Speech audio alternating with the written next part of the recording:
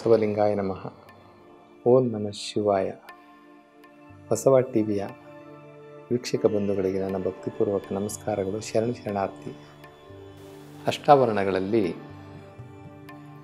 ಅತಿ ಮುಖ್ಯವಾದಂತಹ ಎರಡನೇ ಸ್ಥಾನವಾಗಿರತಕ್ಕಂಥ ಲಿಂಗದ ಬಗ್ಗೆ ನಾವೊಂದಷ್ಟು ವಿಚಾರವನ್ನು ತಿಳಿದುಕೊಳ್ಳುವ ಪ್ರಯತ್ನವನ್ನು ಮಾಡೋಣ.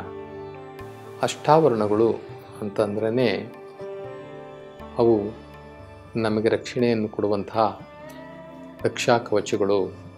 ನಾವು ಜೀವನದಲ್ಲಿ ಎಲ್ಲಿ ಹೆಡುತ್ತೀವೋ ಅಲ್ಲಿ ನಮಗೆ ನೈತಿಕ ಶಕ್ತಿಯನ್ನು, ಆಂತರಿಕ ತೊಂದರೆಗಳನ್ನು ತಡೆಯುವಂಥದ್ದು ಅಂತ. ಈಗ ನಾವು ಮೈ ಮೇಲೆ ಒಂದು ಲಿಂಗ ಇದ್ದರೆ ಯಾವ ಅನಿಷ್ಟಗಳು ಸಹ ನಮ್ಮ ಬಳಿ ಸುಳಿಯೋದಿಲ್ಲ ನಾವು ಯಾರೋ ಹಣದ ಆಸೆಗೆ ಕಟ್ಟುವಂತಹ ಒಂದು ಚೀಟಿ, ಒಂದು ಯಂತ್ರಕ್ಕೆ ನಾವು ಬೆಲೆ ಕೊಡ್ತೀವಿ ಅಂತಂದಾಗ ನಾವು ಬ್ರಹ್ಮಾಂಡ ಸ್ವರೂಪಿಯಾಗಿರ್ತಕ್ಕಂಥ, ಆ ಬ್ರಹ್ಮಾಂಡದ ಜೆರಾಕ್ಸ್ ಆಗಿರ್ತಕ್ಕಂಥ, ಆ ಬ್ರಹ್ಮಾಂಡದ ಪ್ರತಿರೂಪವಾಗಿರ್ತಕ್ಕಂಥ, ಆ ಪರಮಾತ್ಮನ ತೇಜಸ್ಸೇ ಆಗಿರ್ತಕ್ಕಂಥ ಆ ಪರಮಾತ್ಮನ ನಿಜ ದೇಹವೇ ಆಗಿರ್ತಕ್ಕಂಥ ಆ ಇಷ್ಟಲಿಂಗವನ್ನು ನಾವು ಎದೆ ಮೇಲೆ ಧರಿಸ್ಕೊಂಡ್ರೆ ಅದಕ್ಕೂ ಅಂತ ಸೌಭಾಗ್ಯ ಉಂಟೆ. ಯಾವ ಅನಿಷ್ಟಗಳು ನಮ್ಮ ಹತ್ರ ಬರ್ತವೆ? ಯಾವ ವಿಪತ್ತುಗಳು ನಮ್ಮ ಹತ್ರ ಬರ್ತವೆ? ಯಾವ ಅಪಮೃತ್ಯುಗಳು ನಮ್ಮ ಹತ್ರ ಬರ್ತವೆ? ಬರೋದಿಲ್ಲ. ಆದ್ದರಿಂದ ಲಿಂಗತತ್ವದಲ್ಲಿ, ಅಷ್ಟಾವರಣದಲ್ಲಿ ಬರ್ತಕ್ಕಂಥ ಲಿಂಗತತ್ವವನ್ನು ನಾವು ಲಿಂಗ ಅಂತಂದರೆ ಏನು ಅನ್ನುವಂತಹ ತಿಳಿದುಕೊಳ್ಳುವಂತಹ ಪ್ರಯತ್ನವನ್ನು ನಾವು ಮಾಡಬೇಕು. ಲಿಂಗಧಾರಿಗಳು ಈಗಾಗಲೇ ಲಿಂಗ ಧರಿಸಿಕೊಂಡಿರೋರು, ಅದನ್ನು ವೈಜ್ಞಾನಿಕ ದೃಷ್ಟಿಯಲ್ಲಿ ನಾವು ನೋಡಬೇಕು. ಲಿಂಗ ಅಂದರೆ ಏನು ಅಂತಕ್ಕಂಥದ್ದನ್ನು ಅರ್ಥ ಮಾಡ್ಕೊಬೇಕು. ಎದೆ ಮೇಲೆ ಲಿಂಗ ಕಟ್ಕೊಂಡು ಮನೆ ದೇವ್ರಿಗೆ ಹೋದರೆ ಪ್ರಯೋಜನ ಆಗೋದಿಲ್ಲ. ಲಿಂಗ ಕಟ್ಕೊಂಡ್ರು ಅಷ್ಟೇ ಬಿಟ್ಕೊಂಡ್ರು ಅಷ್ಟೇ ಅಂದರೆ ಲಿಂಗದ ಮಹಿಮೆ ಅವ್ರಿಗೆ ಗೊತ್ತಿಲ್ಲ ಅಂತ ಆಯಿತು. ಲಿಂಗವಂತರಿಗೆ ಅಂದರೆ ಲಿಂಗ ಧರಿಸ್ಕೊಂಡಿರ್ತಕ್ಕಂಥವ್ರಿಗೆ ಯಾವ ಮನೆ ದೇವರು ಇಲ್ಲ, ಯಾವ ಕುಲ ದೇವರು ಇಲ್ಲ, ಯಾವ ಊರು ದೇವರು ಇಲ್ಲ. ಒಬ್ಬನೇ ದೇವರು, ಅವನು ಆ ಮಹಾಮಹಿಮ, ಆ ಜ್ಯೋತಿ ಸ್ವರೂಪನಾಗಿರ್ತಕ್ಕಂಥ ಆ ಶಿವ ಪರಮಾತ್ಮ. ಆ ಶಿವ ಪರಮಾತ್ಮ ಒಬ್ಬನೇ ಏಕೈಕನು? ಯಾರಿಗೆ ಅಂತಂದರೆ ನಿಗಾ ಕಟ್ಕೊಂಡಿರೋರಿಗೆ. ಯಾಕೆ ಅಂತಂದರೆ ಅವನೇ ಸತ್ಯ, ಅವನೇ ನಿತ್ಯ, ಅವನೇ ನಿರಂತರ. ಅವನೇ ಹುಟ್ಟು ಸಾವುಗಳಿಗೆ ಕಾರಣಕರ್ತ. ಅವನೇ ಪರಮ ಜೀವಿಗಳಿಗೆಲ್ಲರಿಗೂ ತಂದೆ. ಅವನು ಸೃಷ್ಟಿಯನ್ನು ರಚನೆ ಮಾಡಿದಂತಹ ಸೃಷ್ಟಕರ್ತನಾಗಿ, ಸೃಷ್ಟಿಪಾಲಕನಾಗಿ ಸೃಷ್ಟಿಯನ್ನು ಬೇಕೆಂದಾಗ ಬದಲಾಯಿಸುವ, ಸೃಷ್ಟಿಯನ್ನು ನಾಶ ಮಾಡುವಂತಹ ಅಥವಾ ಅಭಿವೃದ್ಧಿಪಡಿಸುವಂತಹ, ಬದಲಾವಣೆ ಮಾಡುವಂತಹ ಎಲ್ಲವೂ ಕೂಡ ನಿಯಂತ್ರಣ ಆ ಶಿವನ, ನಿರಾಕಾರ ಶಿವನ ಕೈಯಲ್ಲಿರೋದರಿಂದ, ನಮ್ಮ ಜನ್ಮದಾತನು ಅವನೇ ಆಗಿರೋದ್ರಿಂದ ನಮ್ಮ ಆತ್ಮದ ತಂದೆ ಪರಮಾತ್ಮ ಅವನೇ ಆಗಿರೋದ್ರಿಂದ, ಈ ಶರೀರ ಅವನ ಕೊಟ್ಟ ಪ್ರಸಾದವಾಗಿರೋದ್ರಿಂದ, ನಮ್ಮ ಉಸಿರು ಅವನ ಕೈನಲ್ಲೇ ಇರೋದರಿಂದ, ನಮ್ಮ ರಿಮೋಟು ಅವನ ಕೈನಲ್ಲೇ ಇರೋದರಿಂದ ನಾವು ಅವನನ್ನು ನಮ್ಮ ತಂದೆ, ಅವನನ್ನು ದೇವರು ಅಂತ ನಾವು ತಿಳ್ಕೊಳ್ಬೇಕು. ಇನ್ನು ಅಂತಹ ಪರಮಾತ್ಮನನ್ನು ನಾವು ಲಿಂಗದ ರೂಪದಲ್ಲಿ ಧ್ಯಾನಿಸಿ, ಪೂಜಿಸಿ, ಯೋಗಾಂಗ ಸಾಮರಸ್ಯದಲ್ಲಿ ಪ್ರತಿದಿನ ಬೆರೆಯುವಂತಹ ಲಿಂಗಾಂಗಿಗಳು, ಯಾರಾದರೂ ಮನೆ ದೇವ್ರಿಗೆ ಹೋದರೆ ಅದು ಅಪಹಾಸ್ಯ. ಅದು ಅಪಹಾಸ್ಯ. ನಮ್ಮ ಜೇಡ ದಾಸಿಮನರು ಹೇಳ್ತಾರಲ್ಲ, ಕಟ್ಟಿದ ಲಿಂಗವ ಕಿರಿದು ಮಾಡಿ ನಮ್ಮ ಅಂಬಿಗರ ಚೌಡಯ್ಯನವರು ಅಂಬಿಗರ ಚೌಡಯ್ಯನವರು ಹೇಳೋದು. ಕಟ್ಟಿದ ಲಿಂಗವ ಕಿರಿದು ಮಾಡಿ, ಬೆಟ್ಟದ ಲಿಂಗವ ಹಿರಿದು ಮಾಡಿ, ಅಲ್ಲಿ ಹೋಗಿ ಹೊಟ್ಟೆ ಅಡಿ ಮಾಡಿ, ಮಲಗಿ ನಮ್ಮ ಇಷ್ಟಲಿಂಗ ನೆಲಕ್ಕೆ ತಾಕೋ ಥರ ಮಾಡಿ, ಆ ದೇವರ ಹೆಂಜಲನ್ನು, ಆ ದೇವರ ಹೆಂಜಲನ್ನು, ಆ ದೇವರೇ ಅಲ್ಲ ಅದು ಅದರ ಹೆಂಜಲನ್ನು ಭಕ್ಷಿಸ್ತಾರಲ್ಲ, ಅಂಥವರಿಗೆ ಎಡಪಾದ ರಕ್ಷೆಯನ್ನು ತೆಗೆದುಕೊಂಡು ನೋಡಿರಿ ಅಂತಾರೆ. ಯಾಕೆ ಅಂತಂದರೆ, ಲಿಂಗ ಕಟ್ಕೊಂಡು ಅಂತ ಅಪಚಾರ ಮಾಡಬಾರ್ದು. ಲಿಂಗದ ಬಗ್ಗೆ ಗೊತ್ತಿದೆಯಾ? ಲಿಂಗ ಕಟ್ಕೊಳ್ಳಿ. ಲಿಂಗದ ಬಗ್ಗೆ ಗೊತ್ತಿಲ್ವಾ? ಕಟ್ಕೊಂಡು ಪ್ರಯೋಜನ ಇಲ್ಲ. ಲಿಂಗ ನಮ್ಮ ಭಾರತ ದೇಶದ, ನಮ್ಮ ಭಾರತೀಯರ, ನಮ್ಮ ಭಾರತೀಯ ಸಮಾಜದ, ನಮ್ಮ ಸನಾತನ ಧರ್ಮದ ಪೂಜಾ ವಸ್ತು ಈ ಪರಮಾತ್ಮನಿಗೆ ಒಂದು ರೂಪವನ್ನು, ಒಂದು ಸಂಕೇತವನ್ನು ಕೊಟ್ಟಿದ್ರೆ ಅದು ಬಸವಾದಿ ಶರಣರು ಮಾತ್ರನೇ. ಈಗ ನಮ್ಮ ದೇಶದಲ್ಲಿ ಬೇಕಾದಷ್ಟು ದೇವರುಗಳನ್ನು, ದೇವತೆಗಳನ್ನು ಉತ್ಪತ್ತಿ ಮಾಡಿ ಒಂದೊಂದು ಆಕಾರ ಕೊಟ್ಟವ್ರೆ. ಕಂಡವ್ರು ಯಾರೂ ಇಲ್ಲ. ಯಾರು ನೋಡಿದವ್ರು ಯಾರೂ ಇಲ್ಲ. ಆದರೆ ಪರಮಾತ್ಮ ನಿರಾಕಾರ, ಅವನು ಬ್ರಹ್ಮಾಂಡ ರೂಪದಲ್ಲಿದ್ದಾನೆ, ಬ್ರಹ್ಮಾಂಡವು ಲಿಂಗದ ರೂಪದಲ್ಲಿದೆ ಅಂತಕ್ಕಂಥದ್ದನ್ನು ಸಾರ್ವತ್ರಿಕ ಸತ್ಯ ಎಲ್ಲ ಧರ್ಮಗಳು ಒಪ್ಕೊಂಡಿದೆ. ಅಂತಹ ಪರಮಾತ್ಮನಿಗೆ ಅವನ ಸಮೀಪ ಕುರುಹಾಗಿರ್ತಕ್ಕಂಥ ಆ ನಿರಾಕಾರ ಪರಶಿವನ ಕುರುಹಿನ ರೂಪದಲ್ಲಿ ಕೊಟ್ಟಿರ್ತಕ್ಕಂಥ ಲಿಂಗ, ಆ ಲಿಂಗವನ್ನು ನಾವು ಎದೆಯ ಮೇಲೆ ಧರಿಸಿಕೊಳ್ಳಬೇಕಾದರೆ ಅವನು ಏಳೇಳು ಜನ್ಮದಲ್ಲಿ ಪುಣ್ಯ ಮಾಡಿರಬೇಕು. ಆ ಪುಣ್ಯ ಮಾಡಿರುವವನಿಗೆ ಮಾತ್ರ ಇಷ್ಟಲಿಂಗ ಲಭ್ಯ ಆಗುತ್ತೆ. ಇಷ್ಟಲಿಂಗ ಅವನ ಎದೆ ಮೇಲೆ ಕೂತ್ಕೊಳ್ಳುತ್ತೆ. ಇಲ್ಲಾಂದರೆ ಎಲ್ಲರ ಎದೆ ಮೇಲೂ ಹೋಗೋದಿಲ್ಲ. ಎಲ್ಲರ ಎದೆ ಮೇಲೆ ಎಲ್ಲರೂ ಪುಣ್ಯ ಮಾಡಿಲ್ಲ. ಅದೇ ಶರಣರು ಹೇಳೋದು. ಪುಣ್ಯ ಮಾಡ್ರಪ್ಪ, ಕಟ್ಕೊಳ್ಳಿ. ಪುಣ್ಯ ಮಾಡಿರಿ, ಕಟ್ಕೊಳ್ಳಿ. ಯಾಕೆ ಅಂತಂದರೆ ನೀವು ಹುಟ್ಟು ಸಾವುಗಳಿಂದ ವಿಮುಕ್ತರಾಗ್ತೀರಾ, ತಪ್ಪಿಸ್ಕೊಳ್ತೀರಾ, ಹುಟ್ಟು ಸಾವುಗಳಿಂದ ತಪ್ಪಿಸ್ಕೊಳ್ತೀರಾ? ಇದೇ ಜನ್ಮ ಕಡೆ ಮಾಡ್ಕೊಳ್ತೀರಾ? ಮೋಕ್ಷವನ್ನು ಪಡ್ಕೊಳ್ತೀರಾ? ಹೀಗಾಗಿ ಲಿಂಗವನ್ನು ನೀವು ಧರಿಸ್ಕೊಳ್ಳಿ. ಲಿಂಗ ಲಿಂಗ ಲಿಂಗ ಲಿಂಗ ಅಂದರು. ಅದು ಲಿಂಗ ಘನವಸ್ತು ಅಲ್ಲ. ಅದು ಲಿಂಗ ಮೂರ್ತಿ ಅಲ್ಲ. ಅದಕ್ಕೆ ಯಾವುದೇ ಕೈ, ಕಾಲು, ಮೂಗು, ತಲೆ, ಶಿರಸ್ಸು ಯಾವುದು ಇಲ್ಲ. ಅದು ಒಂದು ಕುರುಹು. ಆ ಪರಮಾತ್ಮನ ಕುರುಹು ಅಷ್ಟೇ. ಆ ಕುರುವಿನ ಮುಖಾಂತರ ಅರಿವು ಅಂತಕ್ಕಂಥ ಪರಮಾತ್ಮನನ್ನು ನಾವು ನೋಡಲಿಕ್ಕೆ, ಹಿಡಿಲಿಕ್ಕೆ ಒಂದು ಸಾಧನ. ಅದನ್ನು ಎದೆ ಮೇಲೆ ಕಟ್ಕೊಳ್ಳುವಂಥದ್ದು ಪರಮ ಪವಿತ್ರ ಏಳೇಳು ಜನ್ಮದ ಪುಣ್ಯ. ಅದರಿಂದ ಆ ಲಿಂಗವನ್ನು ಸರಿಯಾಗಿ ನಾವು ಅರ್ಥ ಮಾಡಿಕೊಳ್ಬೇಕು. ನಮ್ಮ ಶರಣರುಗಳು ಆ ಲಿಂಗವನ್ನು ಕಟ್ಟಿಕೊಂಡು ಲಿಂಗಾಂಗ ಸಾಧನೆಯನ್ನು ಮಾಡಿ, ಆ ಲಿಂಗಾಂಗ ಸಾಧನೆಯಲ್ಲಿ ಉತ್ತುಂಗವಾದಂತಹ ಆ ಬ್ರಹ್ಮಕಮಲ, ಬ್ರಹ್ಮಕಮಲಕ್ಕೆ ಹೋಗಿ ಅಲ್ಲಿ ಆನಂದವನ್ನು, ಬ್ರಹ್ಮಾನಂದವನ್ನು, ಆತ್ಮಾನಂದವನ್ನು, ಆ ಸ್ವರೂಪಾನಂದವನ್ನು ಅನುಭವಿಸಿ ಅಖಂಡ ಬೆಳಕಾಗಿರ್ತಕ್ಕಂಥ ಪರಮಾತ್ಮನನ್ನು ನೋಡಿರ್ತಕ್ಕಂಥವ್ರು.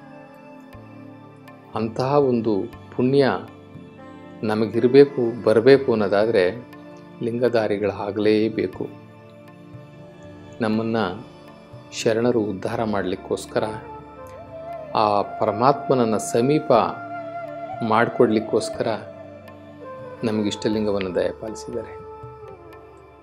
ಲಿಂಗ ಬರೀ ನಾವು ನೀವು ಪೂಜೆ ಮಾಡೋದು ಅಷ್ಟೇ ಅಲ್ಲ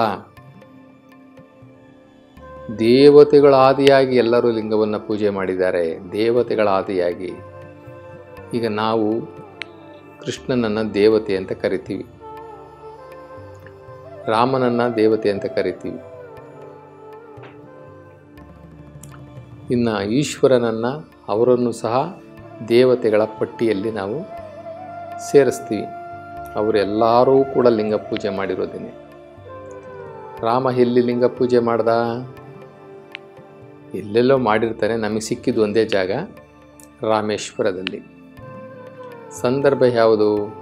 ರಾವಣನ ಹತ್ತಿರ ಹೋಗಬೇಕಾದರೆ ಅವನನ್ನು ಆ ನಿರಾಕಾರ ಪರಶಿವನನ್ನು ಲಿಂಗದ ರೂಪದಲ್ಲಿ ಪೂಜೆ ಮಾಡಿ, ಪ್ರಾರ್ಥನೆ ಮಾಡಿ, ನನಗೆ ಜಯ ಸಿಕ್ಕಲಿ ನನಗೆ ಹೆಂಡತಿ ಸಿಕ್ಕಲಿ ನಾನು ಹೋದ ಕೆಲಸ ನನಗೆ ಸಕ್ಸಸ್ ಆಗಲಿ ಅಂತ ಹೇಳಿ ಲಿಂಗವನ್ನು ಪ್ರತಿಷ್ಠಾಪಿಸಿ, ಲಿಂಗವನ್ನು ಪೂಜಿಸಿ, ಪ್ರಾರ್ಥಿಸಿ ಅಲ್ಲಿಂದ ರಾಮ ಮುಂದೆ ಹೋಗ್ತಾನೆ. ಈಗ ಕ್ಷೇತ್ರ ಏನಾಗಿದೆ? ರಾಮಲಿಂಗ ಕ್ಷೇತ್ರ ಆಗಬೇಕಾಯಿತು ಆದರೆ ರಾಮೇಶ್ವರ ಆಗಿಬಿಟ್ಟಿದೆ. ರಾಮೇಶ್ವರ ಆಗಿದೆ. ಅವರೂ ಕೂಡ ಇವತ್ತಿನ ಜನ ಅದು ಈಶ್ವರ ಅಂತೇಳಿ ತಿಳ್ಕೊಂಡು ರಾಮೇಶ್ವರ ಅಂತ ಇಕ್ಕಿದ್ದಾರೆ. ಆದರೆ ರಾಮ ಈಶ್ವರ ಅಂತ ತಿಳ್ಕೊಂಡು ಲಿಂಗವನ್ನು ಪೂಜೆ ಮಾಡಲಿಲ್ಲ. ಯಾಕೆ ಅಂತಂದರೆ ಈಗ ವಿಷ್ಣು ಅಥವಾ ರಾಮ ಅಥವಾ ಈಶ್ವರ ಇವರೆಲ್ಲ ಕ್ಲಾಸ್ಮೇಟ್ಸ್ ಇದ್ದ ಹಾಗೆ. ಸರಿಸಮಾನರು ಸಮಕಾಲೀನರು ಅಂತ ಅಂದ್ಕೊಳ್ಳೋಣ. ಯಾರಾದರೂ ಈ ಫ್ರೆಂಡು ಆ ಫ್ರೆಂಡನ್ನು ಪೂಜೆ ಮಾಡ್ತಾರಾ? ಇಲ್ಲ. ರಾಮ ಈಶ್ವರನ ಪೂಜೆ ಮಾಡ್ಲಿಕ್ಕೆ ಸಾಧ್ಯನಾ? ಇಲ್ಲ. ರಾಮ ಬಂದು ವೈಷ್ಣವರ ಆರಾಧಕ. ವೈಷ್ಣವರು ರಾಮನ ಹಿಡ್ಕೊಂಡಿದ್ರು. ಲೀಡರ್ ಆಗಿ ಶೈವರು ಈಶ್ವರನ ಹಿಡ್ಕೊಂಡಿದ್ರು ಲೀಡರ್ ಆಗಿ ಅವರು ಲೀಡ್ರು, ಇವರು ಲೀಡ್ರೇನೆ. ಹೀಗಾಗಿ ಜನಗಳು ತಪ್ಪು ತಿಳ್ಕೊಂಡು ಲಿಂಗ ಅಂತಂತಂದರೆ ಈಶ್ವರ ಅಂತ ತಿಳ್ಕೊಂಡು ಅದಕ್ಕೆ ರಾಮೇಶ್ವರ ಅಂತ ಹೆಸರು ಕೊಟ್ಟಿದ್ದಾರೆ. ಹ್ಞೂ ತಪ್ಪದು ಅದು ರಾಮಲಿಂಗ ಕ್ಷೇತ್ರ ಆಗಬೇಕಾಗಿತ್ತು. ರಾಮಲಿಂಗ ಕ್ಷೇತ್ರ, ರಾಮ ಲಿಂಗವನ್ನು ಪೂಜಿಸಿದ ಜಾಗ ರಾಮಲಿಂಗ ಕ್ಷೇತ್ರ ಆಗಬೇಕಾಗಿತ್ತು. ಆದರೆ ರಾಮ ಪ್ಲಸ್ ಈಶ್ವರ, ರಾಮೇಶ್ವರ ಆಗೋಗ್ಬಿಟ್ಟೈತಿ. ಈ ಇಲ್ಲಿ ಮುಖ್ಯವಾದ ನಾವು ಗಮನಿಸಬೇಕಾಗಿರ್ತಕ್ಕಂಥದ್ದು ವಿಷ್ಣು ಅವತಾರದಲ್ಲಿ ಬಂದಂತಹ ವಿಷ್ಣುವೇ ಆಗಿರ್ತಕ್ಕಂಥ ರಾಮನು ಲಿಂಗವನ್ನು ಪೂಜಿಸಿದನು ಅಂತಕ್ಕಂಥದ್ದು ಸತ್ಯ. ಇನ್ನು ಕೃಷ್ಣ, ಕೃಷ್ಣನು ಇವತ್ತಿನ ಯು ಪಿ ಅಂತ ಏನು ಕರಿತೀವಿ ಉತ್ತರ ಪ್ರದೇಶ. ಅಲ್ಲಿ ಗೋಪಿಕಾಲಿಂಗವನ್ನು ಪ್ರತಿಷ್ಠಾಪನೆ ಮಾಡಿದ್ದಾರೆ. ಅವನು ಅಲ್ಲಿ ಕೃಷ್ಣ ಅವರೂ ಸಹ ವಿಷ್ಣು ಅವತಾರ ಅಂತ ಹೇಳ್ತಾರೆ. ಆ ಕೃಷ್ಣನೂ ಸಹ ಅಲ್ಲಿ ಗೋಪಿಕಾ ಲಿಂಗವನ್ನು ಸ್ಥಾಪಿಸಿ ಲಿಂಗವನ್ನು ಪೂಜೆ ಮಾಡಿದ್ದಾರೆ. ಅವರು ಈಶ್ವರ ಅಂತ ಪೂಜೆ ಮಾಡಿಲ್ಲ.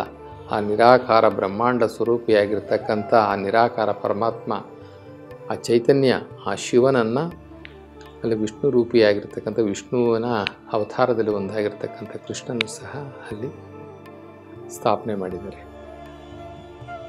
ಅವರು ಕೃಷ್ಣನು ಕೂಡ ಹಲವಾರು ಮರ್ಡರ್ಗಳು ಮಾಡಿದ್ರಲ್ಲ, ಯಾರ್ಯಾರನ್ನು ಕೊಂದ್ರಲ್ಲ, ಆ ಕೊಂದ ಪಾಪವನ್ನು ಕಳ್ಕೋಬೇಕಲ್ಲ? ಹೀಗಾಗಿ ಒಂದು ಲಿಂಗವನ್ನು ಪ್ರತಿಷ್ಠಾಪನೆ ಮಾಡಿದ್ದಾರೆ. ಇನ್ನು ಪಾಂಡವರು, ಈ ಪಂಚಪಾಂಡವರು ಅಂತ ಏನು ಕರಿತೀವಿ, ಆ ಪಂಚಪಾಂಡವರೂ ಸಹ ಅನೇಕ ಸಂಹಾರಗಳನ್ನು ಮಾಡಿದ್ರು. ಇಲ್ಲಿ ಯಾರೊಬ್ಬರೂ ಸಹ ಯಾವುದೇ ಒಂದು ಜೀವರಾಶಿ ಜೀವ ಜಂತುವನ್ನು ಸಹ ಕೊಲೆ ಮಾಡಂಗಿಲ್ಲ. ಕೊಲೆ ಮಾಡಂಗಿಲ್ಲ. ಇವರು ಬಕಾಸುರ ಅಂತಕ್ಕಂಥ ಒಬ್ಬ ರಾಕ್ಷಸನನ್ನು ಭೀಮ ಕೊಲ್ತಾನೆ. ಆ ಭೀಮ ಕೊಂದಂತಹ ಪಾಪ ಪರಿಹಾರಕ್ಕೆ ಅವರೂ ಸಹ ಭೀಮಲಿಂಗ, ಐದೂ ಜನ ಪಂಚಪಾಂಡವರು ಸಹ ಅವರವರ ಹೆಸರಲ್ಲಿ ಭೀಮಲಿಂಗಗಳನ್ನು ಪ್ರತಿಷ್ಠಾಪನೆ ಈ ಭೂಲೋಕದಲ್ಲಿ ಮಾಡಿದ್ದಾರೆ. ಹೀಗೆ ಒಬ್ಬರಲ್ಲ ಒಬ್ಬರು ಒಬ್ಬರಲ್ಲ ಒಬ್ಬರು ಎಲ್ಲರೂ ಸಹ ಲಿಂಗವನ್ನು ಪೂಜೆ ಮಾಡಿರೋರೆ. ಇನ್ನು ಈಶ್ವರ, ರುದ್ರ, ಹರ ಎಲ್ಲರೂ ಸಹ ಲಿಂಗ ಪೂಜಕರೇ. ಹೀಗಿರುವಾಗ ನಾವು ಇತಿಹಾಸವನ್ನು ನೋಡಲಿಲ್ಲ, ಇತಿಹಾಸವನ್ನು ತಿಳ್ಕೊಳ್ಳಿಲ್ಲ. ನಮ್ಮ ಪುರಾತನರ, ನಮ್ಮ ಪೂರ್ವಿಕರ ಪೂಜಾ ವಸ್ತು ಏನಾಗಿತ್ತು? ಈ ದೇಶದ ಶೈವರ ಪೂಜಾ ವಸ್ತು ಏನಾಗಿತ್ತು ಅನ್ನೋದನ್ನು ತಿಳ್ಕೊಳ್ಳೋದಲ್ಲೇ ನಾವು ನೂರೆಂಟು ದೇವರುಗಳನ್ನು ಇಟ್ಕೊಂಡು ನಾವು ಪೂಜೆ ಮಾಡ್ತಾ ಇದ್ದೀವಿ. ನಮ್ಮ ಹಲ್ಲಮ್ಮ ಪ್ರಭುಗಳು. ಹಲ್ಲಮ್ಮ ಪ್ರಭುಗಳು ಆ ಲಿಂಗದ ಬಗ್ಗೆ ಹೇಳ್ತಾರೆ, ಲಿಂಗವನ್ನು ತಿಳಿದುಕೊಳ್ಳದೆ ಮತ್ತೇನನ್ನು ತಿಳಿದುಕೊಳ್ಳಲು ಕೂಡ ಫಲವಿಲ್ಲ. ಅಂದರೆ, ಲಿಂಗವನ್ನು ಅರಿಯದೆ ಏನನ್ನು ಅರಿತರೂ ಫಲವಿಲ್ಲ. ಲಿಂಗವನ್ನು ಅರಿತ ಬಳಿಕ ಮತ್ತೇನನ್ನು ಅರಿತರೂ ಫಲವಿಲ್ಲ. ಲಿಂಗವನ್ನು ತಿಳ್ಕೊಳ್ಳಿ, ಇನ್ನೇನು ತಿಳ್ಕೊಳಕ್ಕೆ ಹೋಗ್ಬೇಡ್ರಿ ಲಿಂಗ ತಿಳ್ಕೊಂಡಿಲ್ವಾ, ಲಿಂಗ ಏನು ಅಂತ ತಿಳ್ಕೊಂಡಿಲ್ವಾ, ಇನ್ನೇನು ತಿಳ್ಕೊಂಡಿದ್ರು ವೇಸ್ಟ್ ಅಂತ ಹೇಳ್ತಾ ಇದ್ದಾರೆ. ಹೀಗಾಗಿ ಸರ್ವ ಕಾರಣ ಲಿಂಗವಾಗಿ, ಸರ್ವಕ್ಕೂ ಕಾರಣ ಸೃಷ್ಟಿ, ಸ್ಥಿತಿ, ಲಯ, ಇನ್ನೊಂದು ಇನ್ನೊಂದು ಇನ್ನೊಂದು, ನೀವು ಏನಾರ ಅಂದ್ಕೊಳ್ರಿ ಈ ಕಲ್ಲನ್ನು ಯಾರು ಉತ್ಪತ್ತಿ ಮಾಡಿದ್ದು? ಶಿವ. ಈ ಮರವನ್ನು ಯಾರು ಉತ್ಪತ್ತಿ ಮಾಡಿದ್ದು? ಶಿವ. ಈ ನದಿ? ಶಿವ. ಈ ಬೆಟ್ಟ? ಶಿವ. ಈ ಆಕಾಶ? ಶಿವ. ಈ ಸೂರ್ಯ ಚಂದ್ರ? ಶಿವ. ಎಲ್ಲ ಶಿವ ಶಿವ ಶಿವ ಶಿವ ಶಿವ ಶಿವ. ಅಲ್ಲಿ ಕಲಮಪ್ರಭುಗಳು ಹೇಳ್ತಾರೆ, ಸರ್ವ ಕಾರಣ ಲಿಂಗವಾಗಿ, ಅಂದರೆ ಲಿಂಗ ಅಂದ ತಕ್ಷಣ ನೀವು ಪರಮಾತ್ಮ, ಶಿವ ಅಂತ ತಿಳ್ಕೊಂಡ್ಬಿಡ್ಬೇಕು. ಆಕಾರ ಬರಬಾರ್ದು. ಸರ್ವ ಕಾರಣ ಲಿಂಗವಾಗಿ, ಆ ಲಿಂಗವನ್ನೇ ಹರಿದರಿದು ಹರಿದರಿದು ಅಂದರೆ ತಿಳಿದು ತಿಳಿದು ತಿಳಿದು ನಾನು ಆ ಲಿಂಗವನ್ನೇ ತಿಳ್ಕೊಂಡು ತಿಳ್ಕೊಂಡು ತಿಳ್ಕೊಂಡು ಆ ಲಿಂಗ ಸಂಘವನ್ನೇ ಮಾಡಿ ಪ್ರತಿದಿನ ಲಿಂಗದ ಸಂಘ, ಲಿಂಗಾಂಗ ಸಂಘ, ಲಿಂಗಾಂಗ ಸಾಮರಸ್ಯ ಲಿಂಗಾಂಗ ಸಾಮರಸ್ಯ ಕೂಡುವುದು ಸಂಗಮವಾಗುವುದು, ಲಿಂಗದಲ್ಲಿ ಕೂಡುವುದು ಸಂಗಮವಾಗುವುದು. ಈ ಲಿಂಗ ಸಂಘವನ್ನೇ ಮಾಡಿ, ಈ ಲಿಂಗ ಸಾಮರಸ್ಯವನ್ನೇ ಮಾಡಿ ಆ ಸಂಘ ಸುಖದೊಳು ಓಲಾಡಿದೆನು. ಆ ಎಂಥ ಸುಖ? ಪರಮಾತ್ಮನ ಜೊತೆ ಮಿಲನ ಆಗೋದು ಆ ಪರಮದ ಜೊತೆ ಕೂಡೋದು, ಆ ಪರಮಾತ್ಮನ ಜೊತೆ ಸಂಗಮವಾಗುವುದು, ಅದೆಂಥ ಸುಖ ಅಂತಂತಂದ್ರೆ ಅಂತ ಹೇಳ್ತಾರೆ. ಆ ಸಂಘ ಸುಖದಳು ಓಲಾಡಿದೆನು, ಓಲಾಡುತ್ತಿರ್ದೆನು ಎಂಬುದಾಗಿ ಇಲ್ಲಿ ಅಲ್ಲಮಪ್ರಭುಗಳು ಬಹಳ ಸೊಗಸಾಗಿ ಅವರ ಒಂದು ವಿಚಾರವನ್ನು ನಾವು ಹೇಳ್ಕೊತಾ ಇದ್ದಾರೆ. ಇನ್ನು ನಾವು ಈ ತ್ರಿಮೂರ್ತಿಗಳ ಬಗ್ಗೆ ಹೇಳಬೇಕು ಅಂತಂದರೆ, ನಾವು ಈ ತ್ರಿಮೂರ್ತಿಗಳು ಸೃಷ್ಟಿ ಸ್ಥಿತಿ ಲಯಕ್ಕೆ ಇವರೇ ಕಾರಣ ಎಂಬುದಾಗಿ ತಪ್ಪು ತಿಳ್ಕೊಂಡ್ಬಿಟ್ಟಿದ್ದೀವಿ. ಇದು ತಪ್ಪಿನಲ್ಲಿ ತಪ್ಪು, ಮಹಾ ತಪ್ಪು ಇದು. ಅಜ್ಞಾನದಲ್ಲಿ ಅಜ್ಞಾನ, ಮಹಾ ಅಜ್ಞಾನ ಇದು. ನೋಡಿ, ನಮ್ಮ ಶರಣರು ಹೇಳ್ತಾರೆ, ಪರಮಾತ್ಮ ಯಾರು ಅಂತಂದರೆ, ಅವನು ಹುಟ್ಟೋದಿಲ್ಲ, ಅವನು ಸಾಯೋದಿಲ್ಲ, ಅವನಿಗೆ ತಂದೆ ಇಲ್ಲ ಅವನಿಗೆ ತಾಯಿ ಇಲ್ಲ, ಅವನೇ ಸ್ವಯಂಭೂ. ಅವನು ಈ ಸೃಷ್ಟಿಯನ್ನು ರಚಿಸಿದವನು. ಅವನು ನಿರಂತರವಾಗಿ ಪರಮಾತ್ಮ ಹುಟ್ಟಿಸಿ ಸಾಯಿಸ್ತಾನೆ ಹೊರತು ಅವನು ಹುಟ್ಟೋದಿಲ್ಲ, ಸಾಯೋದಿಲ್ಲ. ಅವನಿಗೆ ಹುಟ್ಟಿಲ್ಲ, ಸಾವಿಲ್ಲ ಅಂತ ಹೇಳ್ತಾರೆ. ಈಗ ಬ್ರಹ್ಮ ಹುಟ್ಟಿದ್ದ, ಸತ್ತ. ವಿಷ್ಣು ಹತ್ತು ಅವತಾರ ಹೆತ್ತ, ಹತ್ತು ಅವತಾರದಲ್ಲ ಸತ್ತ. ಇನ್ನು ಶಿವ ಶಿವ ಅಂತ ಕರಿತೀವಿ ಅಥವಾ ಈಶ್ವರ ಅಂತ ಕರಿತೀವಿ? ಬ್ರಹ್ಮ, ವಿಷ್ಣು, ಈಶ್ವರ ಅವನೂ ಸಹ ಸಂಸಾರಿಯಾಗಿ ಎರಡು ಮಕ್ಕಳನ್ನ ಎರಡು ಮಕ್ಕಳನ್ನ ಹಡಿದು ಇಬ್ಬರು ಹೆಂಡತಿದ್ರನ್ನ ಕಟ್ಕೊಂಡು ಅವನು ಈ ಭೂಲೋಕದಲ್ಲಿ ಸಂಸಾರ ಮಾಡಿ ಹೋಗಿರ್ತಕ್ಕಂಥವ್ರು ಇವರೆಲ್ಲರೂ ಹುಟ್ಟಿ ಸತ್ತೋರು. ಕೃಷ್ಣ ಹುಟ್ಟಿ ಸಾಯ್ಲಿಲ್ವ? ರಾಮ ಹುಟ್ಟಿ ಸಾಯ್ಲಿಲ್ವ? ಎಲ್ಲರೂ ಹುಟ್ಟಿ ಸತ್ತೋರು. ಈ ಹುಟ್ಟಿ ಸತ್ತವರನ್ನು ನಮ್ಮ ಶರಣರು ದೇವರು ಅಂತ ಒಪ್ಪೋದಿಲ್ಲ ಈ ಲಿಂಗದ ಮುಂದೆ ಅಂತಂದರೆ ಈ ಪರಮಾತ್ಮನ ಮುಂದೆ, ಈ ನಿರಾಕಾರ ಶಿವನ ಮುಂದೆ ಇವ್ರು ಯಾರೂ ದೇವರಲ್ಲ. ಇವ್ರು ಯಾರೂ ದೇವರಲ್ಲ. ಇನ್ನು ಯಕ್ಷ ಗಂಧರ್ವಾದಿಗಳು ನಾವು ಅವರನ್ನು ಕೂಡ ಪೂಜಿಸೋದುಂಟು. ಇನ್ನು ಅಷ್ಟೇ ಏನು ಭೂತಾರಾಧನೆಯೂ ಕೂಡ ನಮ್ಮಲ್ಲಿದೆ. ನಮ್ಮ ಮಂಗಳೂರು ಸೈಡ್ ಹೋದರೆ ಭೂತವನ್ನು ಇನ್ನು ದೆವ್ವ ಅಂತಲೂ ಹೇಳ್ಬೋದು ಅತ್ಲಿಗೆ. ದೆವ್ವ ಭೂತಗಳನ್ನು ಸಹ ನಾವು ಪೂಜೆ ಮಾಡ್ತೀವಿ. ಇನ್ನು ನಿಜ ಪರಮಾತ್ಮನನ್ನು ನಿಜವಾದಂತಹ ಆ ಶಿವನನ್ನು ನಾವು ಕಾಣೋದು ಯಾವಾಗ? ನಾವು ನೋಡೋದು ಯಾವಾಗ? ಸಾಕ್ಷಾತ್ಕಾರ ಮಾಡ್ಕೊಳ್ಳೋದು ಯಾವಾಗ? ನಮ್ಮ ಅನಿಸಿಕೆಗೆ, ನಮ್ಮ ಮನಸ್ಸಿಗೆ ಇಂಥ ಪರಮಾತ್ಮ ಇದ್ದಾನೆ ಅಂತ ಹೇಳಿ ಬಲಪಡಿಸೋದು ಯಾವಾಗ? ನಾವು ಬ್ರಹ್ಮ, ವಿಷ್ಣು, ಮಹೇಶ್ವರನ ದೇವರು ಅಂತ ತಿಳ್ಕೊಂಡು ಯಕ್ಷಗಂಧರ್ವಾದಿಗಳನ್ನೇ ನಾವು ದೇವರು ಅಂತ ತಿಳ್ಕೊಂಡಿರ್ತಕ್ಕಂಥದ್ದು ಎಂತಹ ಜ್ಞಾನ? ಆದ್ದರಿಂದ ನಾವು ಸರಿಯಾಗಿ ನಾವು ತಿಳ್ಕೊಳ್ಬೇಕು. ಇವ್ಯಾವ ದೇವರಲ್ಲ. ಪರಮಾತ್ಮ ಶಿವ ಲಿಂಗ ಸ್ವರೂಪಿಯಾಗಿರ್ತಕ್ಕಂಥ ಆ ನಿರಾಕಾರ ಪರಮಾತ್ಮ ಅವನೇ ನಿಜವಾದಂತಹ ದೇವರು ಅಂತಕ್ಕಂಥದ್ದನ್ನು ನಾವು ಸರಿಯಾಗಿ ನಾವು ಅರ್ಥ ಮಾಡಿಕೊಳ್ಬೇಕಾಗಿದೆ. ಇನ್ನು ನಾವು ಕ್ಷಣಿಕವಾದರೂ ಸಹ ಆ ನಿರಾಕಾರ ಪರಮಾತ್ಮನನ್ನು ಆ ಲಿಂಗದಲ್ಲಿ ನೋಡ್ತಾ ನೋಡ್ತಾ ನೋಡ್ತಾ ನಮ್ಮ ಚಿತ್ತ, ನಮ್ಮ ಭಾವ, ನಮ್ಮ ಪ್ರಾಣ ಎಲ್ಲವನ್ನೂ ಸಹ ನಾವು ದೈವೀಕರಣಗೊಳಿಸಿಕೊಳ್ಳಬೇಕು. ಇಲ್ಲಿ ಲಿಂಗಾಂಗ, ಲಿಂಗ ಸಾಮರಸ್ಯ ಮಾಡಿಕೊಳ್ಬೇಕು ಅಂತಾರೆ. ನಾವು ದೈವೀಕರಣ ಮಾಡಿಕೊಳ್ಬೇಕು. ಯಾಕೆ ಅಂತಂದರೆ ಆ ಪರಮಾತ್ಮನ ಮುಂದೆ ಇನ್ಯಾವುದೂ ಇಲ್ಲ. ಆದ್ದರಿಂದ ಲಿಂಗ ಪದಕ್ಕಿಂತ ಇನ್ಯಾವುದು ಘನವಿಲ್ಲ. ಲಿಂಗದ ಮುಂದೆ ಇನ್ಯಾವುದು ಘನವಿಲ್ಲ. ಈ ಲಿಂಗ ಎಂಬುದೇ ಶ್ರೇಷ್ಠ ಎಂಬುದಾಗಿ ನಮ್ಮ ಹೆಡಿಯೂರು ಸಿದ್ಧಲಿಂಗೇಶ್ವರರು ಹೇಳ್ತಾ ಹೋಗ್ತಾರೆ ತಮ್ಮ ತಮ್ಮ ವಚನಗಳಲ್ಲಿ. ಇಲ್ಲಿ ಸರ್ವಜ್ಞ ಸರ್ವಜ್ಞ ಲಿಂಗದ ಬಗ್ಗೆ ಏನು ಹೇಳ್ತಾರೆ ಅಂತಂದರೆ, ಲಿಂಗದಲ್ಲಿ ನಡೆಯಾಗಿ, ಲಿಂಗದಲ್ಲಿ ನೆನಹಾಗಿ, ಲಿಂಗದಲ್ಲಿ ನೋಟವಾಗಿ, ನುಡಿ ಬೇಟವಾದುದು ಲಿಂಗವೇ ಯಕ್ಕು ಸರ್ವಜ್ಞ. ಸರ್ವಜ್ಞ ಮೂರ್ತಿ ಬಸವಣ್ಣನವರ ಶಿಷ್ಯ.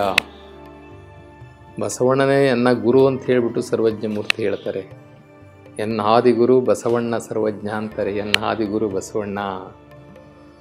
ಸರ್ವಜ್ಞ ಮೂರ್ತಿ ಈ ನಿರಾಕಾರ, ಈ ಬ್ರಹ್ಮಾಂಡವನ್ನು ಒಪ್ಕೊಂಡಂಥವ್ರು ಆ ನಿರಾಕಾರ ಶಿವನನ್ನು ಒಪ್ಕೊಂಡಂಥವ್ರು ಆ ನಿರಾಕಾರ ತತ್ವವನ್ನು ಒಪ್ಕೊಂಡಂಥವ್ರು ಒಂದು ಅಖಂಡವಾದಂಥ ಪರಿಪೂರ್ಣವಾದ ಚೈತನ್ಯ ಇದೆ. ಅದೇ ಪರಮಸತ್ಯ. ಅದೇ ಈ ಜಗತ್ತನ್ನು ಈ ಬ್ರಹ್ಮಾಂಡವನ್ನು ನಿಯಂತ್ರಿಸ್ತಾ ಇರ್ತಕ್ಕಂಥದ್ದು ಅನ್ನುವಂಥದ್ದನ್ನು ಅವರ ವಚನಗಳಲ್ಲಿ ಹೇಳ್ತಾ ಹೋಗ್ತಾರೆ.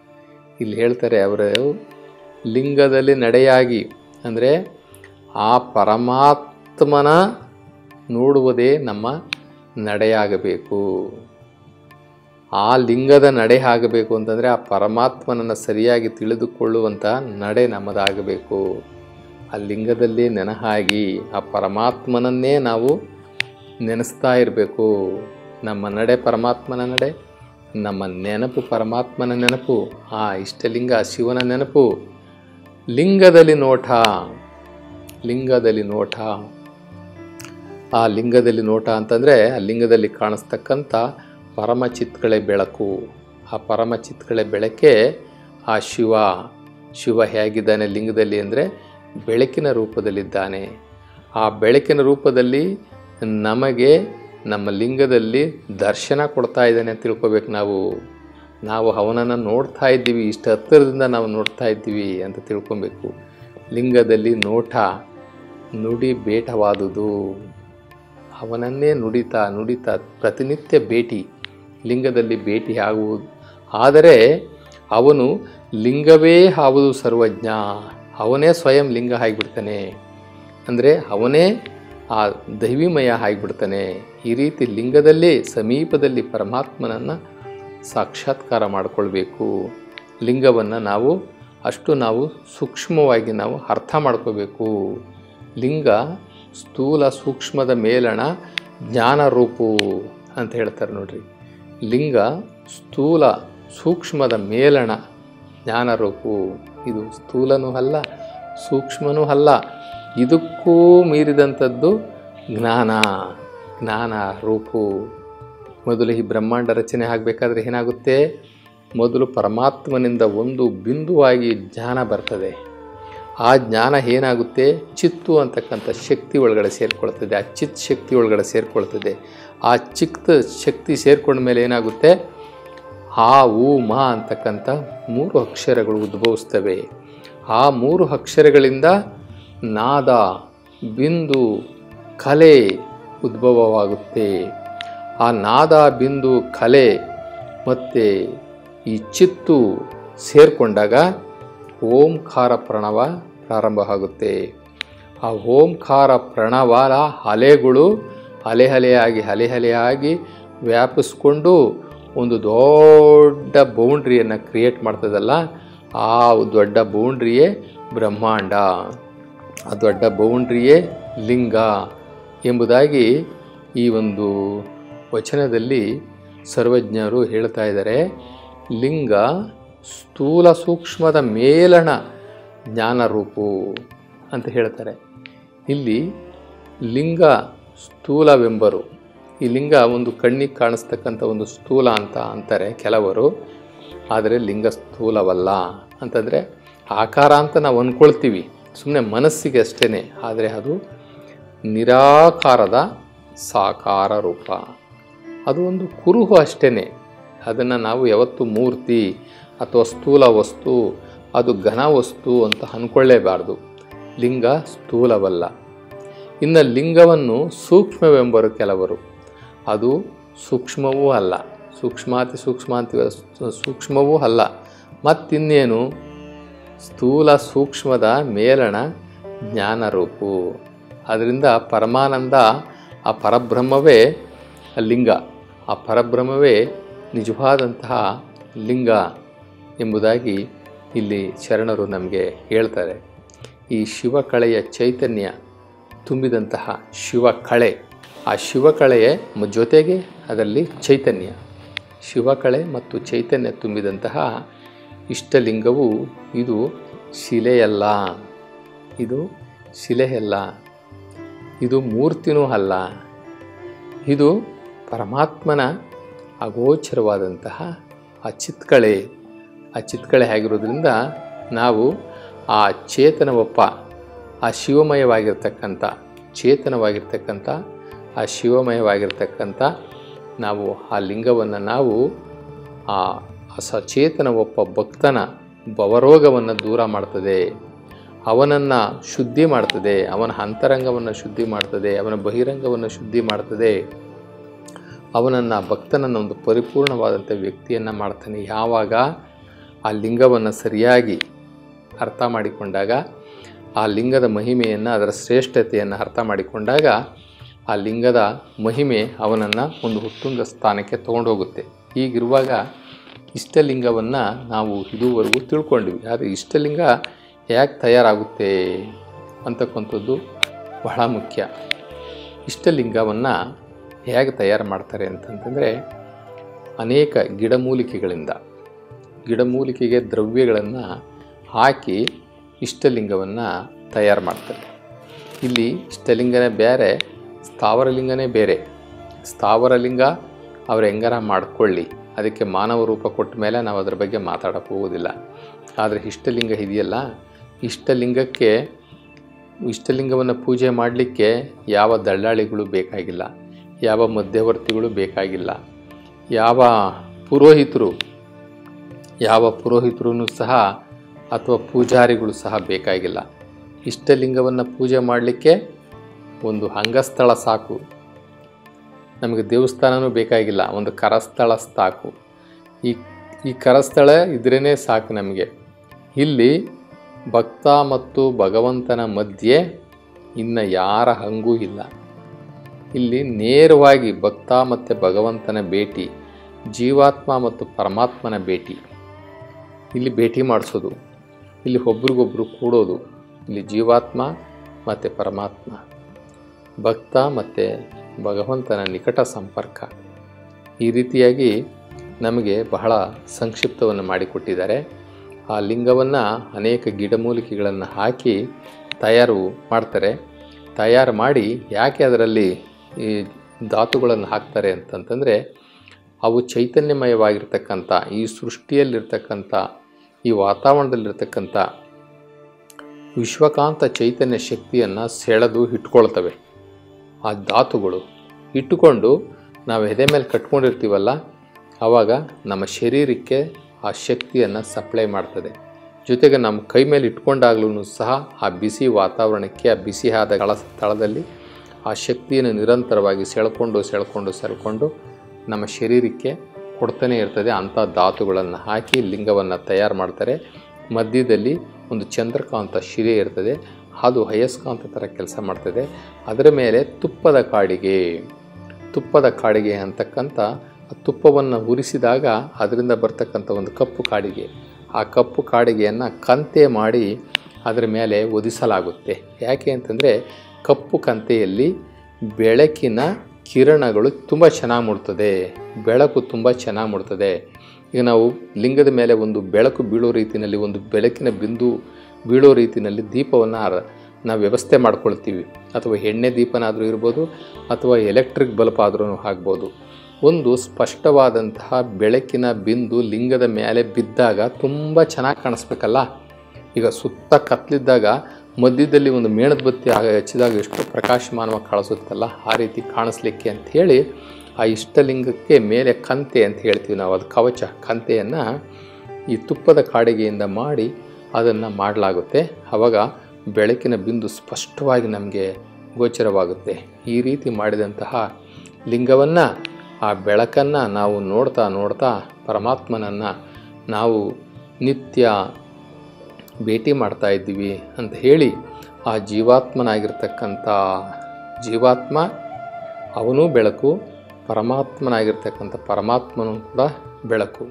ಅದಕ್ಕೆ ನಮ್ಮ ಶರಣರು ಹೇಳ್ತಾರೆ ಭ್ರೂ ಮಧ್ಯೆ ಭ್ರುಕುಟಿಯಲ್ಲಿ ಪ್ರಕಾಶಮಾನವಾಗಿರ್ತಕ್ಕಂಥ ಭ್ರೂ ಮಧ್ಯೆ ಭ್ರುಕುಟಿಯಲ್ಲಿ ಪ್ರಕಾಶಮಾನವಾಗಿರ್ತಕ್ಕಂಥ ಜೀವಾತ್ಮನಾದ ನಾನು, ಲಿಂಗದಲ್ಲಿ ಕಾಣುವ ಬೆಳಕಿನ ರೂಪದ ದೇವ ಶಿವನಲ್ಲಿ ಕೂಡುತ್ತಿದ್ದೇನೆ, ಸಂಗಮವಾಗುತ್ತಿದ್ದೇನೆ. ಕೂಡುತ್ತಿದ್ದೇನೆ, ಸಂಗಮವಾಗುತ್ತಿದ್ದೇನೆ ಅನ್ನುವಂತಹ ಭಾವನೆಯನ್ನು ಬಲಿಸಿಕೊಂಡು ನಾವು ಪ್ರತಿನಿತ್ಯ ಪರಮಾತ್ಮನನ್ನು ಭೇಟಿ ಮಾಡುವಂತಹ, ಭೇಟಿ ಮಾಡಿಸುವಂತಹ ಒಂದು ಸಾಧನ. ಅದು ಲಿಂಗ, ಅದು ಪರಮಾತ್ಮನ ವಾಸದ ಮನೆ. ಪರಮಾತ್ಮನನ್ನು ಭೇಟಿ ಮಾಡುವಂತಹ ಅದೊಂದು ಬ್ರಹ್ಮಾಂಡ ಸ್ವರೂಪ ಅಂತ ತಿಳ್ಕೊಂಡು ನಾವು ಲಿಂಗವನ್ನು ಸರಿಯಾಗಿ ಅರ್ಥ ಮಾಡಿಕೊಳ್ಬೇಕು ಅಂತ ಹೇಳ್ತಾ ಇಂದಿನ ಈ ಸಂಚಿಕೆಗೆ ವಿರಾಮವನ್ನು ಕೊಡೋಣ. ಶರಣೂ ಶರಣಾರ್ಥಿ.